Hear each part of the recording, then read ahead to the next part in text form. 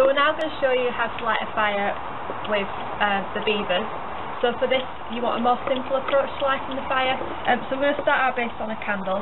Obviously for the beaver skills badge, part of this element can be lighting a candle and so it'll work towards this. So when you're lighting your candle, remember to always teach the beavers that you need to strike away from yourself. So once the candle's lit, what we're going to do is we're going to use this as the base of our fire. So I've got small piles of wood here for little kindling um, so the thinner stuff that we explained earlier and we're going to use this to build a fire over our candle. So what we're going to do is we're going to strike the match away from ourselves and light the candle. So once our candle is lit we want to take our small kindling pieces and place these around the tea light. They don't need to directly be on the flame initially, we just want to start to build the basis that will light.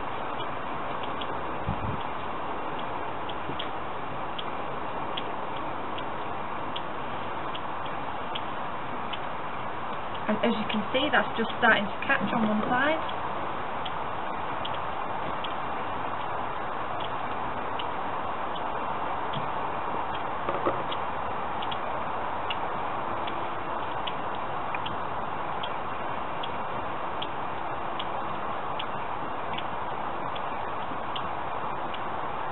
And just keep building it up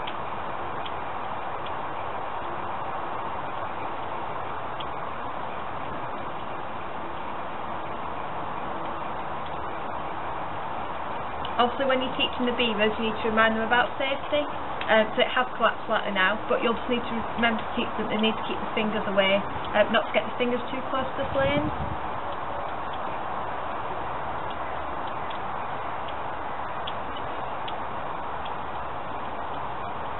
And just sort of try and build it up into a triangle.